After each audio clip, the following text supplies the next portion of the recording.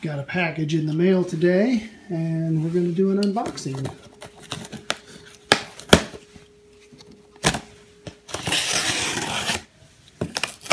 That's what I think it is. It's going to be exciting to see.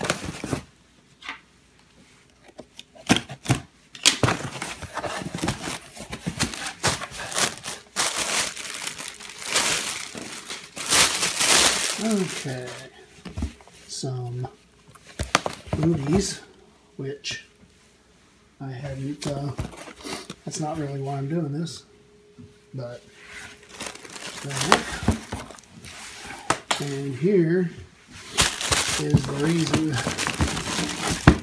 I'm looking at this. Saddlebags for my scooter. And of course, LSU purple. Uh, that will go great when uh, I paint my bike yellow someday. Okay, first impressions. Um, they're about the size that uh, I thought they were going to be. They may seem a little bigger once I put them on the scooter. They have a uh, clip on the front here. You flip that open, then it's got a zippered pouch, which is nice. And then uh, it's got a plastic interior to it it's supposed to hold a 24 pack of 12 ounce cans. My guess is these are smashed pretty tight. My guess is you expand that out and it will fit a can upright like this on its side. You fit 12 on that side, plus ice it says, but I don't think you're going to be able to get that much into it. Uh, they're packed pretty tight. Um, it's like I said, it's got plastic inside of it. There's nothing really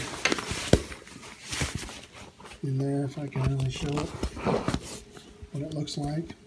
just looks like a collapsible plastic cooler. One of the things I do like about it is is that uh, it zips closed and it clasps closed.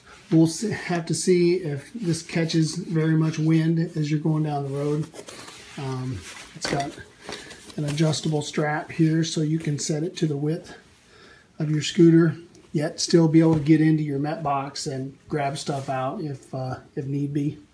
So my understanding from reviews on these, these fit a KYMCO Super 8 150 just fine. So that's what I'm going to use them for. And after I uh, use them once or twice, I'll do a review for you. Thanks for watching. Don't forget, like and subscribe, and go Tigers!